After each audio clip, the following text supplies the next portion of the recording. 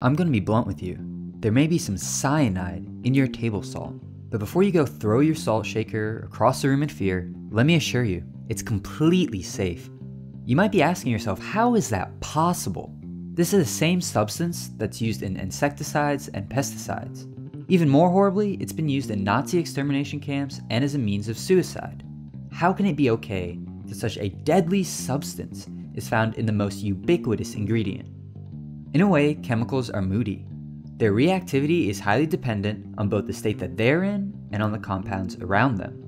Take sodium, for example. We're used to cationic sodium found in salt, and it's fairly harmless. However, elemental sodium is explosive if it comes in contact with water. Both the deadly cyanide found in pills and gas and the harmless cyanide that we're talking about are negatively charged ions composed of carbon triple bonded to nitrogen.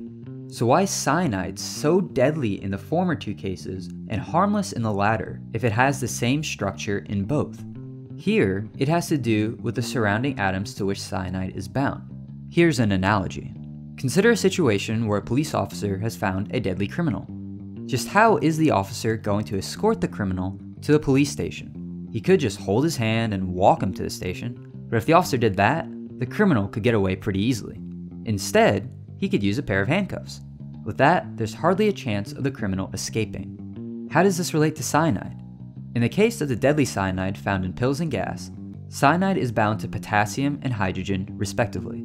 These bonds are labile and can be broken easily. Even by just dissolving them in water, cyanide anions are released.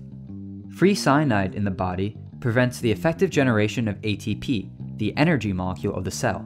At high enough concentrations, this can be deadly.